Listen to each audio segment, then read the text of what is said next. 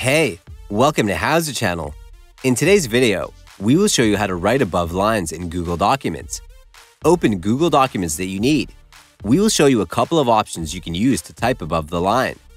Go to the top Tools bar. Click on Insert and choose Equation from the list.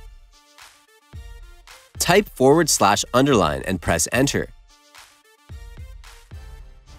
Start typing the text and it will appear with an underline. The second option is to use a table.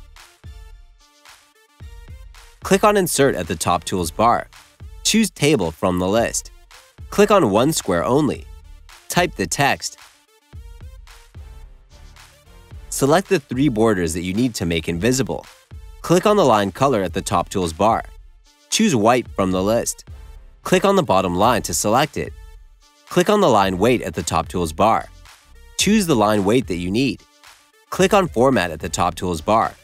Go to Paragraph Styles and choose Borders and Shading from the list. A new pop-up window will open. Go to Position and select Bottom Border Only. You can change border width, dash, color, and so on. Click on Apply when you're ready. Type the text above the line. That's it. Thanks for watching the video. Please like it and let us know if you used any of our tips and tricks. Subscribe to our channel. We upload new tutorials every day. See ya!